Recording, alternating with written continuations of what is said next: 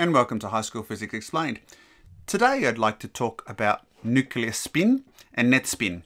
Now, if you were to go onto YouTube or various websites and look up the concept of spin, then you will discover that there are lots of explanations that are quite good, but if you don't have a basic understanding of quantum mechanics, you'll probably struggle to understand it. And so what I would like to do is talk about spin from a high school perspective. So I'm not going to go too much into quantum mechanics, but if you want to understand spin, especially if you're doing medical physics and want to understand spin in the context of MRIs, then hopefully this video will help you. So let's start first of all, here have two protons and a proton has a positive charge. Now, we're going to see that a proton has a number of properties and one of those properties is a concept called spin. Now spin is actually a historical term. We know that it actually doesn't literally spin, but if you consider that it is a positive charge, then if it's spinning, it may spin in that direction. Now, if you're familiar with electromagnetism, then you know that a spinning charge will develop a magnetic field. And that magnetic field can be determined using a right-hand grip rule. So as a result of this spin, it produces a magnetic field in such a way that it is actually pointing upwards. So in other words, this end here will be the North Pole, this end will be the South Pole, and as a result, it produces a magnetic field that goes around like so. What we have is this magnetic field, and the arrow represents uh, the direction of the magnetic field through the proton, and so we call this a magnetic moment. Now, what can also happen, of course, is I have a proton here. It can also have a spin, but in this case, it could be spinning in the opposite direction. And as a result, similarly to here, it will produce a magnetic moment that is in the opposite direction. So here I have a proton that has a magnetic moment that is pointing up and we call it a spin up. And over here we have a proton that has a magnetic moment that is down and we call it a spin down. And suffice to say, in quantum mechanics, we give this a value. And so the spin up is given a value of a half if it is spin up and negative a half if it's a spin down. We don't worry about the numbers that goes into quantum mechanics and I want to spare you from that. What about two neutrons? Now, neutrons, as you know, have no charge.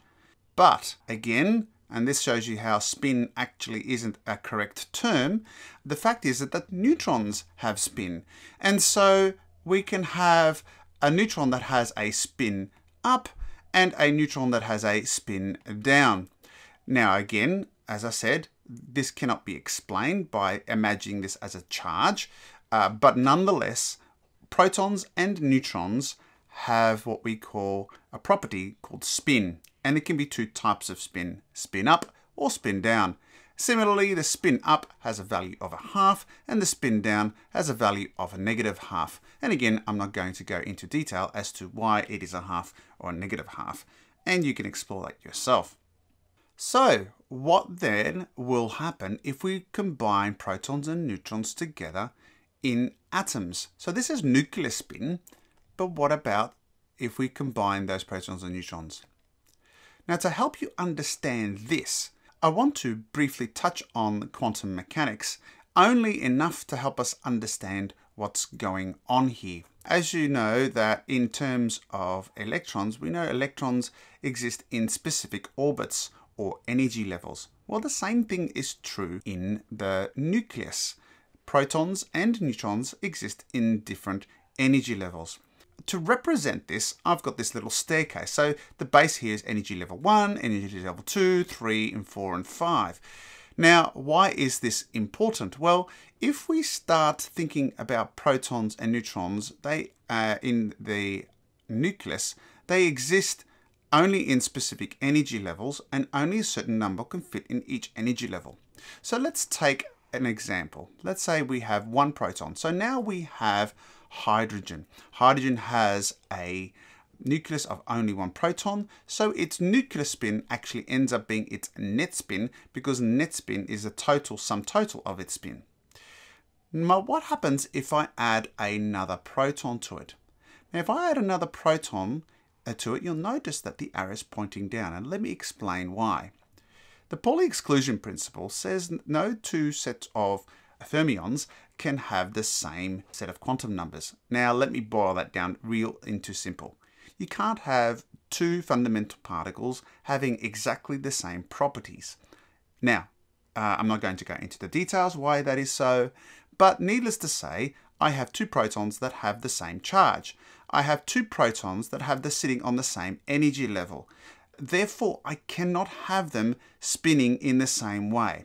So in order for them to coexist onto this energy level, one has to have a spin up of a half, one has to have a spin down, a value of negative half. So although they have lots of similar properties, at least in terms of spin, they're in the opposite direction. But what happens here is, is that their spins cancels out. Although we have a nuclear spin here of a half and a negative a half over here, that leads us into a net spin of zero. If I add another proton to it, so let's say again, I now have my proton here and another proton here. If I want to add another proton, well, this one can't exist in this level. It has to go to the next level because it can't have the same numbers. So in other words, if now I have three protons in my nucleus, that would be example lithium, we're ignoring the neutrons, uh, you can see what happens is these two cancel out, we now have another proton here. It is not the same set of quantum numbers because it's now on energy level 2. And so its net spin in this case is a half because I have these two cancelling out and I have one half left over. But let's consider neutrons now for a moment. So let's look at an example of deuterium. Now deuterium is hydrogen with an extra neutron. So here's my hydrogen, one single proton, and I need a neutron over here. And you'll notice that they have the same direction in terms of spin, but that's allowed because they're different subatomic particles, so they're allowed to coexist together. As a result, we have now a net spin of a half for the proton and a half for the neutron, and that leads us to a concept of net spin of 1. So deuterium's nucleus has a net spin of 1 because a proton and a neutron come together. So let's say I want to build up uh, helium. So helium has two protons. So here we go, I have a proton number 1, and I have to have a proton number 2 that spins in the opposite direction. I now can add a neutron and a neutron, of course, can be in the same energy level because it is a different fundamental particle. But now if I add a second neutron, it has to spin down because it's pairing up with the other neutron. And so now I have two protons, two neutrons, and in this case, of course, I have helium. And helium, of course, has the mass number of 4 and an atomic number of 2. But if you notice, if you sum those spins up, the net spin ends up equaling zero because these two cancel out, those two cancel out, giving us a zero. So you can see as we start to add protons and neutrons together, we will get different spin values depending on what cancels out and what does not cancel out. So let's go a little bit more complex. So let's have a look at another element and let's start with looking at carbon 13 as an example. So carbon 13 has 13 nucleons and six of those are protons. And as you can think of that, that means there are seven neutrons to add. So let's add our protons and neutrons to the ladder. So let's start with the protons first. So here's proton number one and here's proton number two. You'll notice that they come in pairs, spin up and spin down. And we keep the process going. Now we're going on to the next energy level and we keep going like so. And now I have my number of protons correct. We now add the neutrons, and again, the same rules apply. Once we start adding neutrons to our nucleus, but they always go up in pairs because they then jump up different energy levels. And I'm almost finished here. And finally, we have a situation like this. So I have six protons and seven neutrons. What is its spin? Well, if you look carefully, you can clearly see that every pair here cancels out. So as a result, the net spin is totally determined by this last remaining neutron, and so the net spin is equal to a half. We've dealt with an example of a spin of zero, and we've dealt an example with a spin of a half, and we've dealt an example of a spin of a whole number. So there are some basic rules to help you know very quickly what net spin exists. And the rules are like this. If A is even and Z is odd, then the spin is a whole number. So think about it. Z is odd, so therefore you're automatically going to have a half a spin left over. A is even, that means automatically the number of neutrons is also odd, which means you're going to have a half left over. Those two halves will automatically mean you get a spin of 1. So here we go, these two cancel out, these add up, we get a whole number. If A is even and Z is even, then clearly we've got an even number of protons, an even number of neutrons, and as a result the net spin is zero.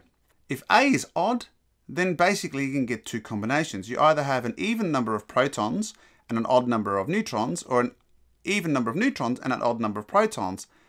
What's left, of course, is that you get a spin of a half. In fact, it is multiples of a half. Again, that is quantum mechanics. We're not going to go into the reasons why it can be 3 over 2 and 5 over 2, but needless to say, you always get multiples of a half if the mass number is odd. So that summarizes the concept of nuclear spin and net spin. And that should give you enough scope to help you with understanding the concept of spin in the context of MRI. I hope that's helped you and thanks for watching. Bye for now. I hope you found that video useful. And remember, like, share and subscribe. Oh, and if you have a comment or a question or you'd like a concept for me to explain to you, please drop a comment down below. I'm Paul from High School Physics Explained. Bye for now.